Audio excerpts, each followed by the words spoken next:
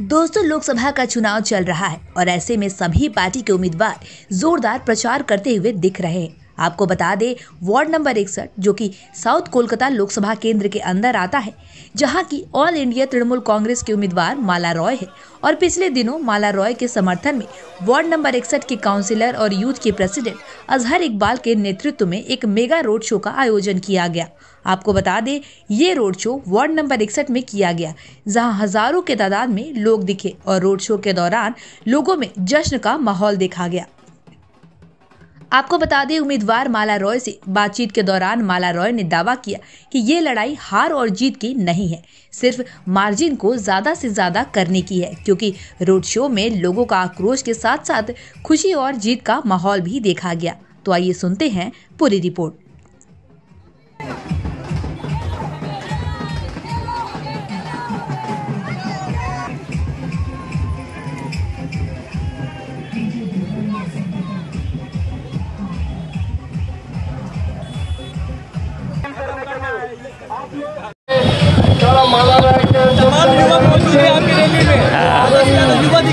अरे ये ममता बनर्जी का उन्नयन का भीड़ है जिस तरह वो लक्ष्मी भंडार সেই নির্বাচনে আমাদের দক্ষিণ কলকাতার তৃণমূল মনোনীত তৃণমূল কংগ্রেস মনোনীত প্রার্থী মমতা ব্যানার্জির लक्ष्मी भंडार द्वारा सरकार जितना भी प्रोग्राम हम लोग ने किया है सब में यूथ का ये है। हो चुका है। हो चुका है जीत हो चुका है इसमें कोई दो राय नहीं। है माला जी जीत के बैठी हैं। समझे? ये जीती का निशानी है किस तरह से लड़के लोग झूम झूम कर जा रहे हैं। इकसठ नंबर वार्ड हमेशा हम लोगों को जिताया है ज़्यादा वोटों से जिताया है। हम चाहेंगे कि माला जी को भी हमसे ज़्यादा वोट मिले और हमसे ज़्यादा वोटों से कामयाब हो गई है? हम हम इसे प्यार करते हैं वो भी हमें प्यार करता है। हम जनता को प्यार करते हैं तभी प्यार करते हैं। ताली दो हाथ से बचती है एक हाथ से नहीं।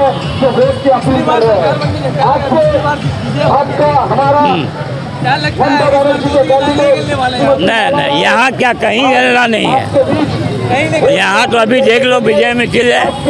और सारे हिंदुस्तान में उसका कदम उखड़ चुका है। वो हिंदू मुसलमान में उतर आया है, अब पाकिस्तान को भी एंट्री मिल गया है। तो ये वोट का मामला ये वोट उन्नयन के ऊपर होता है।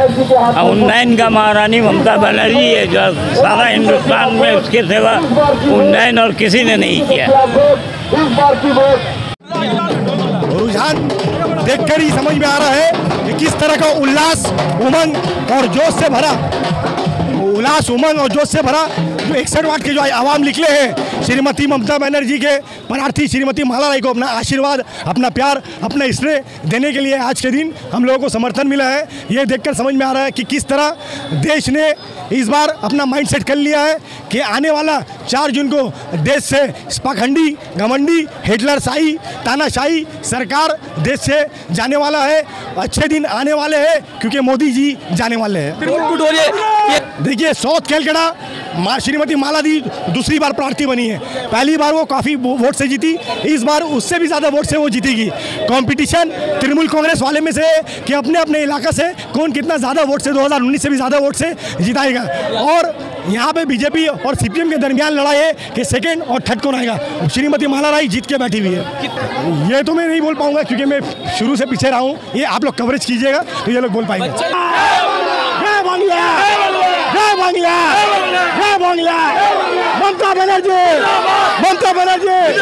ममता बनर्जी! ममता बनर्जी! जय बांग्ला!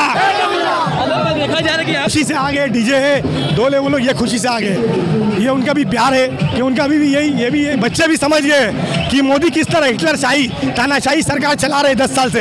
बच्चे का भी दिमाग में बैठ गया है कि पूरे हिंदुस्तान में किस तरह जहर भरा जा रहा है नफरत भरा जा रहा है। इसलिए बच्चे भी आ जाए बच्चे मन के सच्चे। इसलिए बच्चे भी आ जाए कि हम लोगों को हिंदुस्तान में प्यार बनना है हिंदुस्तान में शांति लाना है हिंदुस्तान में प्रगति लाना है हिंदुस्तान में उन्नति लाना है हिंदुस्तान में हिंदू मुस्लिम भाईचारा एकता को ये असल संपत्ति जो हिंदुस्तान का था इसे फिर से 2024 में एक नया हिंदुस्तान चार जून को बनने वाला है। पहले युवा सिर्फ़ सिरे सिर्फ़ और सिर्फ़ हमारे नेता श्री अभिषेक बनर्जी को जाता है जब से उन्होंने बाग दौड़ संभाला है पार्टी में लाखों की तादाद में उनके आवाज़ में उनके पुकार में युवाओं का इम्पोर्टेंसी मिला है युवाओं को पोस्ट मिला है युवाओं को महत्व मिला और इसी प्रकार अभिषेक बनर्जी को देखते हुए युवा आज जन सैलाब उभर पड़ा है हमारे आज की इस महारैली में। यहाँ पर इतना तमाम लोगों का जो भीड़ है ऐसा लगता है विजय रैली निकला हुआ है यहाँ पर। इसमें क्या कहना चाहिए देखिए ये श्रीमती ममता बनर्जी को इसका श्रेय जाता है, क्योंकि वो जो बोलती है, वही निभाती है। उन्होंने कहा था, रूपाश्री देंगे, रूपाश्री दी। उन्होंने कहा था लक्की भंडार देंगे लक्की भंडार दी, कन्याश्री दी। तो इसका सिर्फ़ और सिर्फ़ श्रेय हमारी नेत्री श्रीमती ममता बनर्जी को जाता है। उनके काम, उनके उन्नयन को देखते हुए लोगों का हमें भरपूर समर्थन, भरपूर आशीर्वाद और एक विश्वास, जो विश्वास होता है हमारी नेत्री का, वो लोगों द्वारा हमें मिलता है। क्योंकि अगर ममता बनर्जी मज़बूत होगी तो हमारे देश मज़बूत होगा, हम सब यहाँ पे मज़बूत होंगे। ममता बनर्जी बिखरेगी तो हम सब यहाँ पे बिखरेंगे। और देश कमज़ोर होगा कितना सीट मार्जिन हैं? Thirty five plus. बंगाल में थर्टी फाइव प्लस और बीजेपी का डेढ़ सौ सीट भी आने वाला नहीं है। मोदी जी तो बोल रहे बयालीस में बयालीस सीट वो सिर्फ़ जुमलाबाजी है। जुमलाबाजी है। बीजेपी का 200 सीट भी आने वाला नहीं है।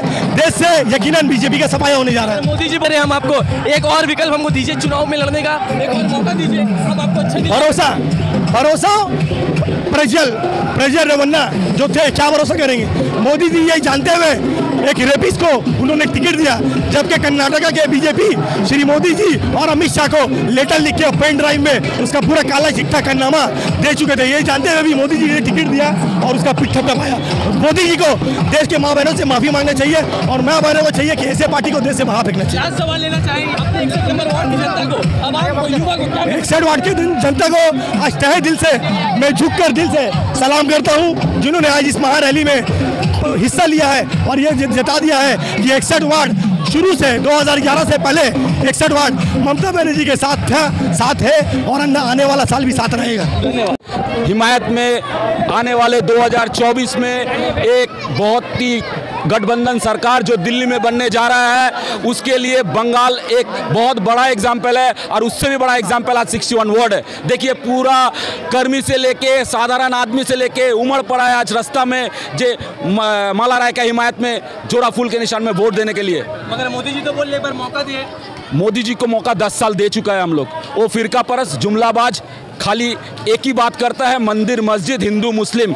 और एक मंदिर का, वो एक पुलवामा जीता था, वो वो हो गया आदमी लोग समझ लिया फिर एक बार मंदिर का राजनीति करने जा रहा है। आदमी लोग पकड़ चुका है सनातन हिंदू लोग पकड़ चुका है जे मंदिर का राजनीति नहीं चाहिए हमको नौकरी चाहिए नौकरी दो। और तो हिंदू है तो हिंदू हिंदू है हम हम हम लोग चश्मा पहना हुआ नहीं है। धर्म का चश्मा हम लोग उतार के मैदान में उतरे हैं। सब जानते हैं जे ये धर्म का चश्मा को उतारना पड़ेगा। धर्म का बात नहीं चलेगा।